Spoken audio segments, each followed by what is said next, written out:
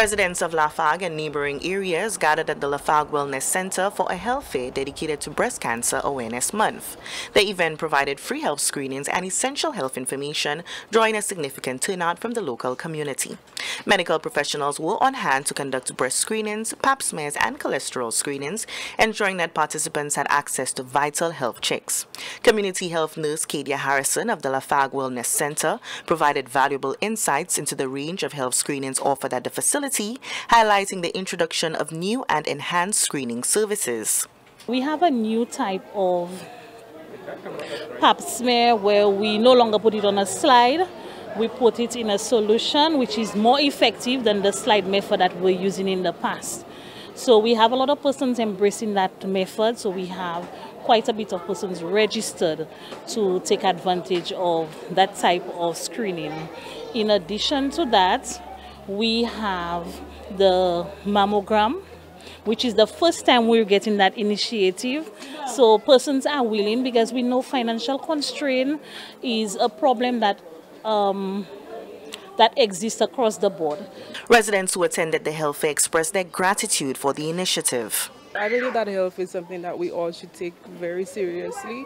And as a woman, I believe that breast cancer is something that we all should you know, give attention.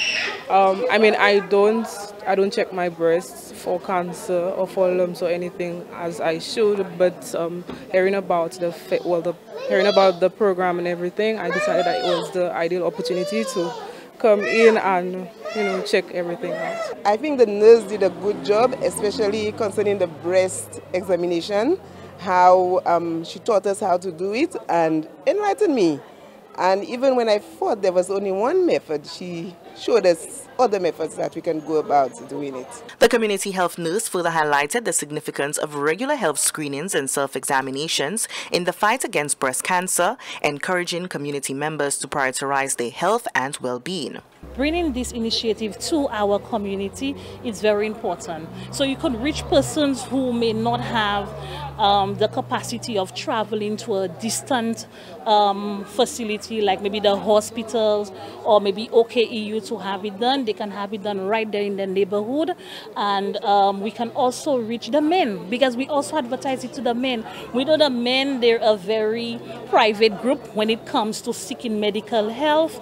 And we really, we really focus on them. So we really encourage them to come out. It's close, it's nearby, so come to us. And they're familiar with us so they can be more at ease and, and open up so we can actually get the, um, the cases of men who may be at risk of getting breast cancer as well. So we're not leaving them behind because most times we focus on the women and we forget our men. So men, you're part of the love too. We, we, we welcome you.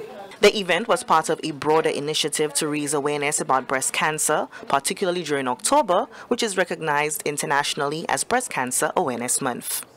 From the Communications Unit of the Ministry of Health, Wellness and Elderly Affairs, I am Onika McCoy.